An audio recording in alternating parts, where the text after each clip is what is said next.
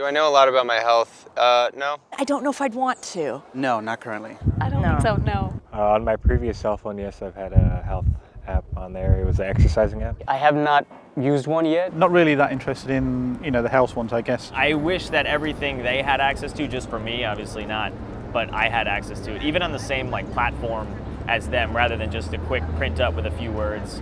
I wouldn't want my uh, health data to be shared in public. I think it's quite a personal thing.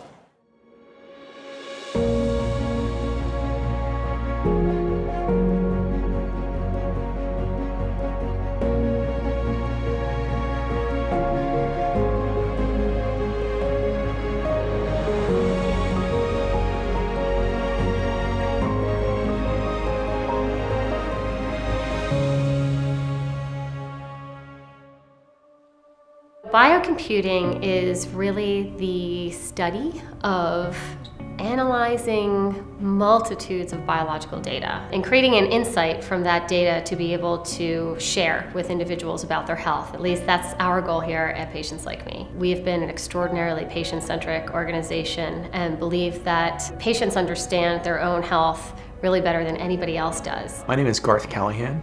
I'm a dad and an author.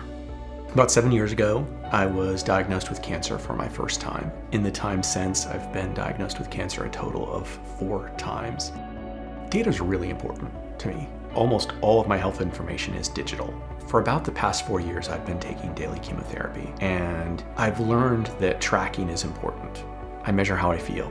I measure my weight, how much I eat, if I sleep well. So I'm measuring all of these things that hopefully improve the quality of my life. I have multiple doctors, so it would be great to have all of those doctors' offices aggregate data at the same time in the same place, and then add my own data so that I could track my own things. If you track the data, then it can have meaning. Data is absolutely essential and core to everything that we do. Historically, the kind of data has been called experiential or phenotypic, and what that means is patients will come to the platform and they will self-report information about their condition. What my role is, and what my team's role is at Patients Like Me, is to incorporate the molecular biology aspect to that now, what's happening on the inside, with the goal of giving us a very holistic and highly detailed picture of that person's health in the context of a population of thousands and thousands of other individuals. I've made my health data public because I feel that there's value in somebody else looking at it.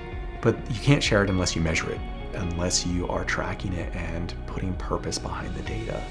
My biggest hope is that we have more data than what we can even possibly imagine to do with. Our patients have been really quite extraordinary.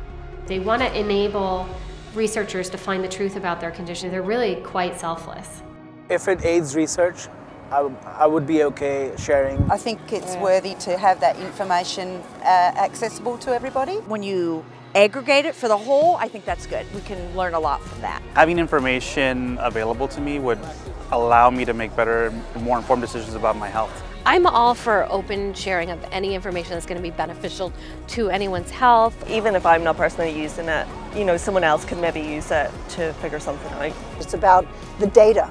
You don't have to attribute it to a specific patient. Share the, the goddamn data. There's actually a treatment that cures kidney cancer. It's been around for over 30 years. It only works 4% of the time. And in a similar percentage of the time, the patient dies. And in 90 to 92% of the cases, it does nothing.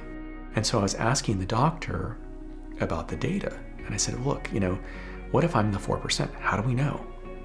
And he said, we just don't know. We don't track that data. And shame on us. Because if we did track that data, I might be in a different situation today. So that's why I track everything.